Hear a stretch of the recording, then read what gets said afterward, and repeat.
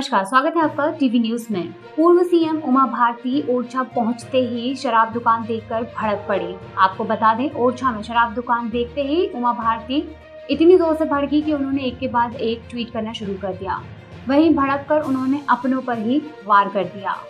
पूर्व CM Uma Bharti MP में शराबबंदी की मांग को लेकर शराब सरकार की मुसीबत बढ़ाती हुई नज़र आ रही है। उन्होंने इस बार बड़ी चेतावनी भी दी है।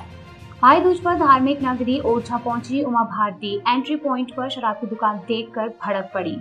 उमा भारती ने अयोध्या में बाबरी मस्जिद विध्वंश को याद करते हुए कहा कि ओरछा में शराब दुकान को लेकर भी ऐसा कुछ हो सकता है, जिसे पूरा प्रदेश देखेगा।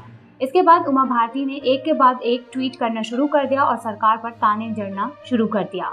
वहीं उमा भारती ने पत्थर उठाकर दुकानों पर फेंककर मारने लगी। वहीं उमा भारती के धमकी भरे ट्वीट को देख कांग्रेस मीडिया विभाग के उपाध्यक्ष नरेंद्र सलूजा ने उमा भारती के ट्वीट पर भी जमकर जवाब दिया, जिस और जिसके बाद भी उमा भारती लगातार ट्विटर पर जवाब देती रही।